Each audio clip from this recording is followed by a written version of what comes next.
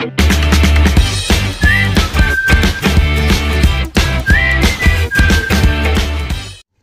everyone, I'm Shivam Pasari and welcome to Ace In Academy. Now as you can see from the title of this video, in this video we'll discuss the Euler's totient function. Now in this particular video we'll discuss the following concepts and they are Number 1. What are coprime numbers? Number 2. How to prime factorize a number and number 3. How to find the Euler's totient function of a number. We will also discuss some few examples on this topic as well and do watch this video till the end because we have provided some practice questions at the end and you will be able to solve them only if you have watched the complete video. So without further ado, let's begin with our topic. Now our first topic of discussion are coprime numbers. Now two numbers are called as coprime when there is no common factor between them except the number 1. So for example, the number A is equal to 13 and number B is equal to 17. Now you can see that both 13 and 17 are prime numbers so there is no common factor between a and b other than the number 1. So thus, if the given number does not have any common factor with the other number except the number 1, then the two numbers are called as coprime numbers or they are also called as relatively prime numbers. Now our second topic of discussion is prime factorization of a number. Now to prime factorize a number is basically to represent the number as a product of its prime factors raised to arbitrary powers. So for example, if we have a number, let's say n, then we can prime factorize the number as a raised to the power p into b raised to the power q into c raised to the power r and so on and so forth where a, b and c are prime numbers and p, q and r are arbitrary powers and all of them are whole numbers. So for example, if we have a number, let's say 12, and we have to prime factorize this number, so what we have to do is we just have to represent this number as a product of its prime factors raised to different powers. So you can see that 12 is equal to 2 into 6 and 2 into 6 can also be written as 2 squared into 3. So thus we have prime factorized the number 12 because we have written it as a product of two different prime numbers 2 and 3 raised to different powers 2 and 1 respectively. So in this way you can prime factorize any given number and this is the fastest way in you can prime factorize the number. Now there are different methods by which you can prime factorize the number and I have made a separate video on that topic as well so you can go check that out too. Now to be more clear with this topic, let's take an another example.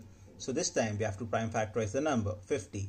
Now 50 is equivalent to 2 into 25 and 25 is equivalent to 5 square so we can write it down as 2 into 5 square. So thus we have prime factorized the number 50 as 2 raised to the power 1 into 5 raised to the power 2. So if we have a number n, then to represent the Euler's totient value, we use the psi function and psi n gives the Euler's totient value of any given number. Now when we say that we have to find out the Euler's totient value, what do we mean is we have to find out all the list of co-prime numbers of n. Now to find out the Euler's totient value of a number, what we have to do is we have to use two simple steps. In the first step, we have to prime factorize the given number. So let's say the prime factorization of the number n is a raised to p into b raised to q into c raised to r and so on and so forth. So in the second step, we'll simply use the formula which is as follows n into 1 minus 1 by a into 1 minus 1 by b into 1 minus 1 by c and so on and so forth where a, b and c are the prime factors of the number n and by using this simple formula we can easily calculate the Euler's totient value of the given number. So done with all the theoretical concepts and the formula, Let's solve some few examples which will provide us all the co-primes of a number less than to it.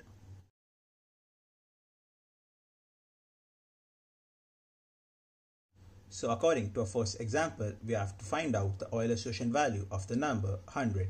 Now first we have to prime factorize the number according to our method. So 100 is equivalent to 2 square into 5 square because 2 square is equal to 4 and 5 square is 25. So 4 into 25 is equal to 100. So the prime factorization of 100 is 2 square into 5 square.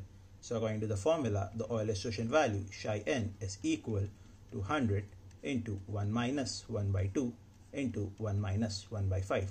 Now we just have to calculate this value. Now 100 into 1 minus 1 by 2 is equal to 1 by 2 and 1 minus 1 by 5 is equal to 4 by 5. Now you can see that 2 and 100 will get cancelled and 50 and 5 will get cancelled so we'll be left with 40. So our value of Euler's totient number for 100 is equal to 40. So there are 40 different numbers which are co-prime to 100 and less than to it. So you can see that how easy it is to find the Euler's totient value of any given number n.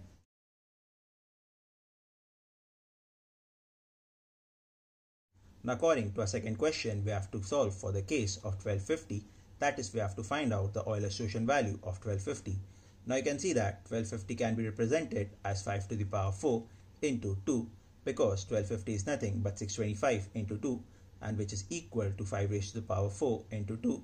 So the prime factorized form of 1250 is equal to 2 into 5 raised to 4. Now you can see that I have written the smaller prime number in the front and the larger prime number at the back and it is the general method in which you should write the prime factorized form of any given number. Now moving back to our question, the value is equal to 1250 into 1 minus 1 by 2 into 1 minus 1 by 5. Now we just have to calculate this value and which is equal to 1250 into 1 by 2 into 4 by 5. Now 2 and 4 will get cancelled and we'll get 2 and 5 and 1250 will get cancelled and we'll get 250.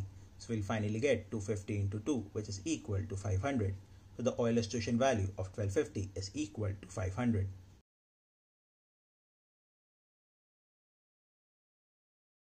Now for a third example, we have to solve for the number 6 factorial. Now 6 factorial can be written as 1 into 2 into 3 into 4 into 5 into 6.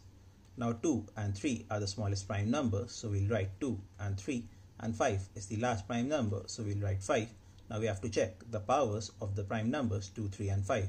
Now since 5 is appearing only once, we'll get 5 to the power 1. 2 is appearing once over here, 2 times over here and 1 time over here, so we'll get 2 to the power 4. And 3 is appearing twice, so we'll get 3 to the power 1 over here and second power of 3 over here, so we'll get 2 raised to 4 into 3 square into 5 raised to the power 1 as the final prime factorization of 6 factorial. Now although we don't require to find out the value of the powers of the prime factors, we are doing it for the sake of our practice. So we just have to put the number in the formula. So 6 factorial is equal to 720 and we have to multiply it with 1 minus half into 1 minus 1 by 3 into 1 minus 1 by 5 and we'll get our final value. So it is equal to 720 into half into 2 by 3 into 4 by 5. So here you can see that 2 and 2 will get cancelled and 3 and 720 will cancel and we'll get 240 and 240 and 5 will get cancelled and we're left with 48. So 48 into 4 gives us value as 192. So the Euler's totient value of 6 factorial is equal to 192.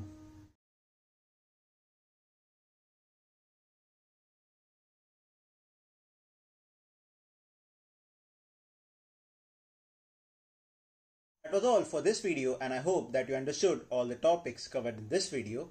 And if you have any doubt then you can post your doubts down in the comment section or you can send your doubts to us to our channel's official Instagram or Facebook page and we will surely solve your doubt as soon as possible.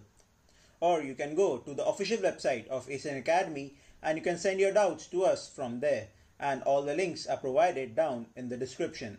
And if you did like the video then please hit the like button and subscribe to the channel Ace In Academy.